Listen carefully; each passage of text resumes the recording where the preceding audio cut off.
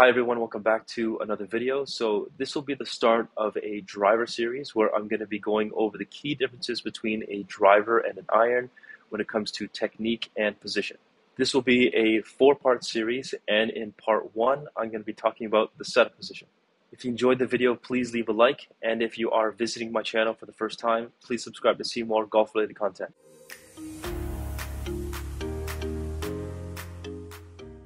So when it comes to driver and irons, um, the, the biggest difference between a driver and iron is the fact that with the driver, the ball is typically teed up. Now, if the ball is teed up off of the ground, we no longer want to do things to hit down on it. We actually want to learn to swing the driver head more level to the ground or slightly upwards on the ball. The other key difference is just the overall length and size of the driver. It's the longest club in the bag, so if we want to encourage the club to swing more level to the ground or slightly up on, upwards on it, we have to do things in our setup to encourage that to happen. So I'm going to be going over the key setup positions from the face-on view first and then from the side view. But before I get into the driver setup, I want to maybe review some concepts with the setup position with an iron first. That way, when I do get to explaining the driver setup position, you guys can see the difference. So when you're hitting an iron, the ball is typically on the ground. So when you t- uh, set up to, uh, like say, a seven iron, the ball position will just be ever so slightly to the left of center.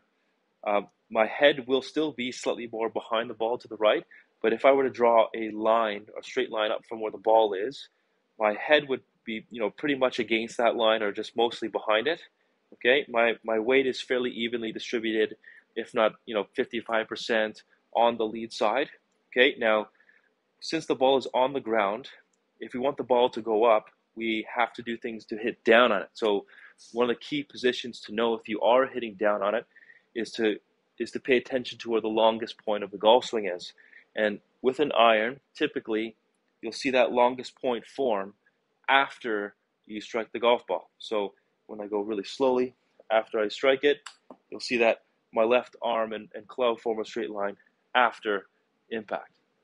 Now, when you have a driver in your hand and the ball is teed up off of the ground, and you want to encourage the club to swing more level and less downwards, then the first thing to look at is ball position versus where your head is positioned in uh, relation to the ball. So, typically, you've, you've probably heard to you know place the ball maybe inside of the left heel, okay, but you can actually be more precise than that. And what I mean is, when you have your ball placed between your feet, you actually want to make sure that when you get in the posture that the ball is in line more so with your lead shoulder okay? And um, the other thing too is that your stance will typically be wider just because this is the longest club in the bag. Having a wider stance will just help with balance. But if the ball position is more forward and your stance gets wider then your head is going to be positioned further behind the ball to the right okay? So having that line there you can see probably more space between where my head is and where that ball line is. Okay. Now, the reason as to why you want the ball precisely in line with your lead shoulder is because when you make contact with the golf ball, you're changing, you're, you're trying to change where the longest point of the golf swing is. So you can see that at the moment of impact, my radius, or when my left arm and club form a straight line, is right at the moment of impact. Okay, so remember that with an iron, you're trying to get that radius to form after impact, and that would signify that you've hit downwards on it. But with a driver, if you make that adjustment with ball position, okay, making making sure that it's pretty much in line with the lead shoulder, heads further behind. When you strike it, that radius is now right at the golf ball, and that would signify that you've swung the club more level to the ground. So there's three key points to take away so far. So one is ball position in line with the lead shoulder. The stance is wider, okay, and typically it's going to be wider than your shoulder width, okay. Now, when it comes to weight distribution, my weight is still fairly evenly distributed, um, if not 55% still on my lead side, okay. And because the ball position is further forward, head's further back, right, you're going to see more space between where my head is and where that ball line is. So my head will be further behind the ball as well. Just on the screen quickly, I'm just going to pull up how I'm setting up from the face on view with an iron versus a driver, just so you can visually see what the differences are. Um, so you can see clearly what the what the changes that I've made with driver, um, how the stance is wider, ball positions more further forward, um, pretty much in line with the lead shoulder, and then my head's further back behind that ball line. Okay, so I'm just going to go over um, the, the driver setup from the side view, but, but before I get to the driver, uh, I'm just going to go over some basic points about the setup with the 7 iron, just so that you can see the difference. So when setting up with the 7 iron, the, the first thing I kind of typically look for when it comes to setup is just where the weight is um, across your feet. Now, I, I, like to see that it's pretty centered, maybe just slightly on the balls of the feet. And I never want to see the weight displaced too much into the heels um, or too much into the toes.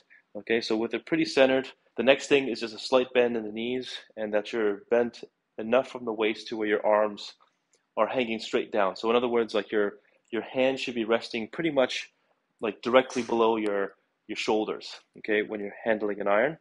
Okay. Um, the other part to take note of is with the posture of my back. Um, you you don't ever want to like arch like arch your back, like arch your lower back, or pinch your shoulder blades together, just because that'll actually restrict your mo- mobility in the backswing. So instead of being arched, okay, and your shoulder blades pinched together, you you actually want to flatten your lower back. So see how I actually just kind of tucked my hip like a bit more forward, so that made my lower back kind of flat. And it's completely normal for there to be, you know, a slight a slight arch in my upper back. Um, so that'll actually make it very easy for my body to maneuver in the backswing or throughout the swing in general. But the main points with the weight in the center of the feet, slight bend in the knees, lower back is flat. Okay to have arch in the upper back, but the arms are hanging really straight down, kind of under the shoulders. Okay, so when it comes to driver, now there's not um, a ton of differences from the side view. Okay, but there's just a few things that you you'll have to look out for. Now, the same thing. It's the same thing with the driver um, as as I described it, the seven iron, pretty much. Um, you, you, don't want obviously too much weight in the toes um, or in the heels. It's got to be pretty centered, slight bend in the knees, and you also want to have a flat lower back, okay, and a slightly arched upper back. But when it comes to the placement of your arms relative to the shoulders, the irons, you want the hands kind of more directly below the shoulders. Now, with a driver, because the club is, is the longest club in the bag, you actually want to position your hands slightly further outside of your shoulders here. Okay, but the biggest mistake that people make with driver is just in terms of body alignment, kind of where they're pointing their shoulders, their hips, relative to where they're pointing their feet and the club face. Now, um, I mentioned uh, from the face on view how the ball positions more forward, and typically what I see is when the ball, when people move the ball position forward, they actually start to point their shoulders uh, more open or more to the left, kind of like this. So when you look at that from the side view, if I were to position myself, you can see that some players have their, their shoulder alignment pointing more open or pointed more to the left relative to where they're pointing their feet. Okay. Um, I also see that their their forearms out of alignment as well. You can see my my forearms are also open.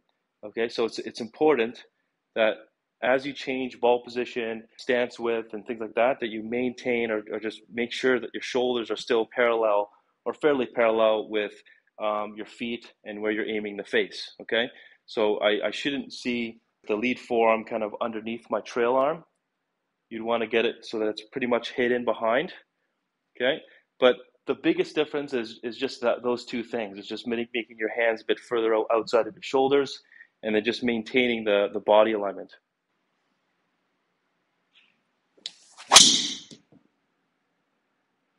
Thank you guys so much for watching. Now, if you have any questions, you can leave a comment down below. Be sure to follow me on my Instagram at Jonathan K. Moss if you want to inquire about my online programs. I will also leave a link to my website in the description box below as well, just so you can see all of the details. And if you still have some extra time, I would encourage you guys to watch this video next. And this is another driver video where it goes over uh, players who tend to slice the ball a lot with their driver. So if you feel like you are that type of player, then watching this video may give you an idea on how to solve that.